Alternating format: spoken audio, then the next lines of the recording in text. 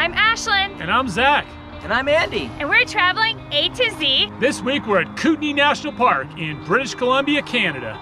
We're heading on the 93 to go to Radium Hot Springs, which is in the Kootenay Forest area. And we're gonna stop along a couple uh, hikes along the way. Our first stop is to Vista Lake Overlook.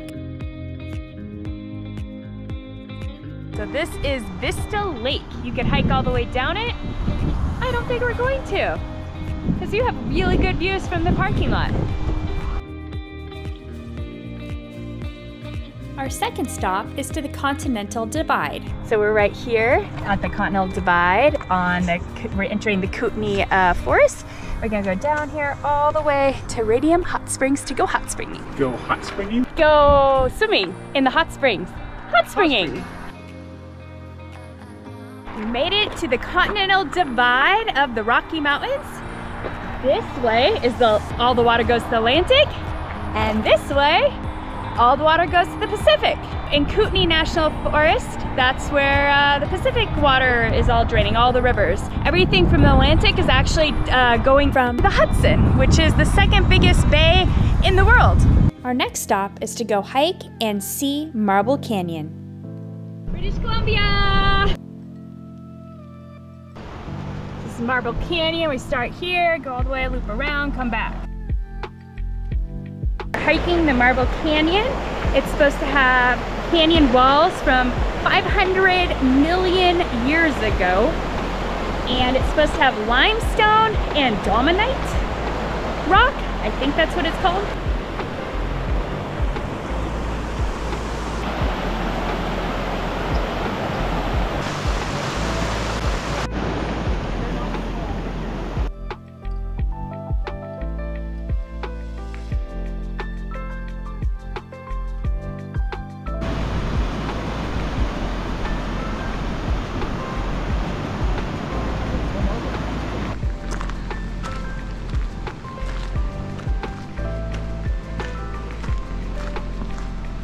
Trail is fun. It has lots of little bridges that overlook the canyon.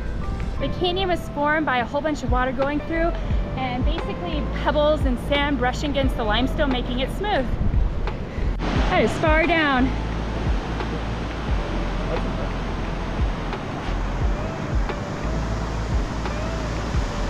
You can see it eroding for sure there. Yeah.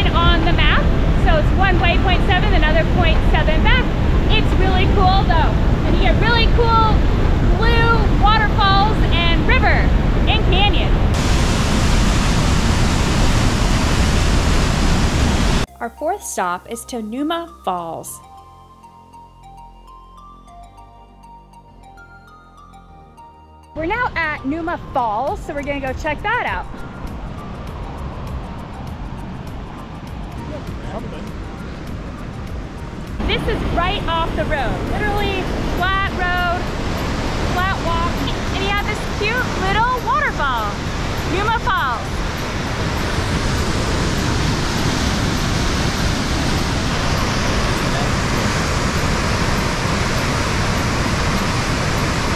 Our fifth stop is to Radium Hot Springs.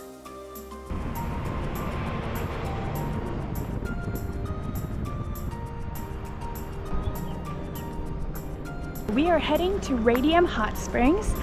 This is in the Kootenay Wilderness area in uh, British Columbia. Park on the opposite side of the road and then you take a tunnel underneath the highway to get to the hot springs. So it looks like they have a cold pool and a hot pool. So two different pools. There's three different hot springs in this area that people go to. The main one is Banff and then they have this one.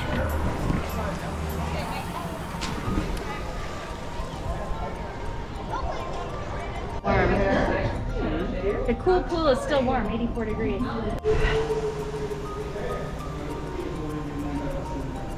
have to take a shower before you go in. They have a nice little changing area. You can rent towels for $2. It's about $8 to get in for adult.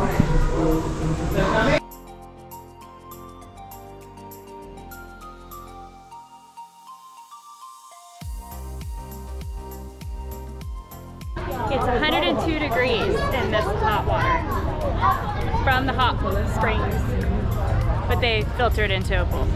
Now we're gonna cool down on the cool pool, which is 84 degrees. And they have a slide for the kids, it's cute. It's not that cold. Wimp. It feels really good. It was hot over there. We just finished going to the hot springs. It was very fun. So it's less busy than the Banff hot springs and the Banff hot springs like it's kind of first come first serve and it fills up really fast. So this is another option, which is about an hour and a half from Banff, but a gorgeous view and the Kootenay National Forest to get here. So if you have time, I recommend uh, stopping by this hot springs because it was a lot of fun and relaxing. I hope you enjoyed some of the top spots to stop at when in Kootenay National Park. Join us as we take you on one of the most beautiful drives in North America along the Icefields Parkway. We'll show you some of the top spots to see as we drive. Please subscribe below to follow more of our adventures.